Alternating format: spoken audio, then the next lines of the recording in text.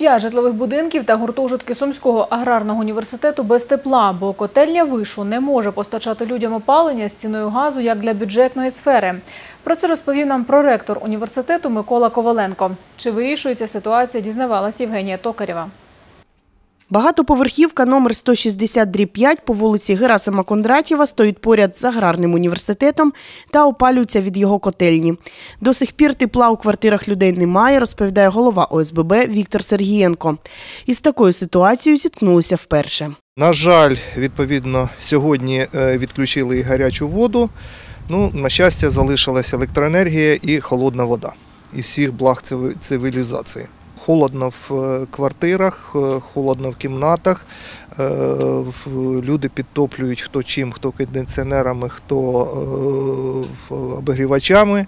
Ну і надіємося на те, що все-таки наші мережі витримають, тому що якщо буде ще холодніше і ще буде більше включатись, е, у нас в будинку знаходяться електроплити, тобто навантаження просто на мережу не витримає. Тут проживає близько 300 людей. Тепла немає ще у чотирьох будинках і гуртожитках СНАУ. Відповідно, підготувалися до опалювального сезону, пофарбували батарею, якби, бо трішки були проблеми з минулий, минулий опалювальний сезон, але поки що, на жаль, тепла від неї немає. Безумовно, холодно. Холодно вже третій тиждень.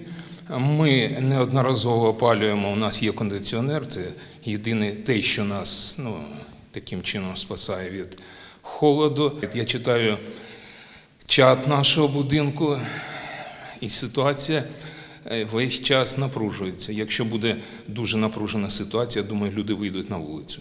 Газ зафіксованою ціною як бюджетнику університету дали вчора. Але винятково на опалення своїх приміщень та будинку дитини, говорить проректор Микола Коваленко. Аби подавати тепло до житла, мають укласти ще одну угоду на постачання газу для населення. Немає можливості сьогодні отримати дешевий газ по 7,99 в зв'язку з тим, що ми не можемо заключити угоду з нафтотрейдером як бюджетна організація для постачання газу з населенням. Ця проблема теж е, неоднократно ставилася перед Нафтогазом, Нафтогазом трейдингом, але ж вони силаються на те, що в них нормативна база не дає можливості нам, як бюджетній організації, поставити газ для населення. На протязі трьох днів, з 1 по 3 листопада, уряд прийме по нас відповідну постанову, е, де затвердить типовий договор для бюджетних організацій, які мають свої котельні і які надають послуги населенню. Сьогодні, перебуваючи у Запоріжжі, прем'єр-міністр Денис Шмигаль розповів. Це питання вирішено на рівні уряду. Е, Таких е, постачальників, які опалюють населення і працюють в режимі теплокомуненерго, у нас в Україні є 10. Міністерство зі всіма з ними в контакті, і той об'єм газу, який вони будуть постачати населенню, буде їм постачатись як обсяг один від НАК Нафтогазу по ціні 7,42.